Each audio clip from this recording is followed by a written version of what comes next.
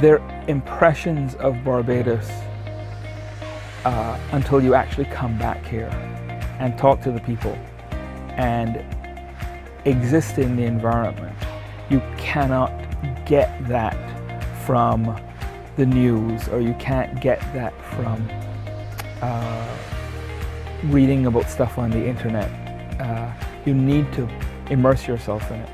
I think you need to be here to see that uh, and see how how you may fit in to the new society.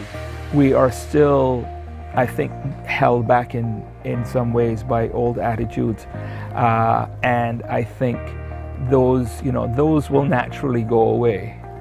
Uh, and I think we have a more progressive. I see a young.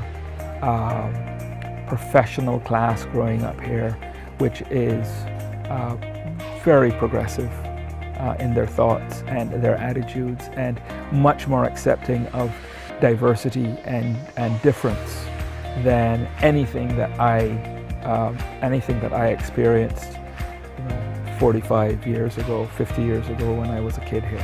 Uh, so, but I, I don't think you can I don't think you can really sense that if you listen to the loudest more strident voices, which is what you tend to see, hear in the newspapers on, and, and on social media.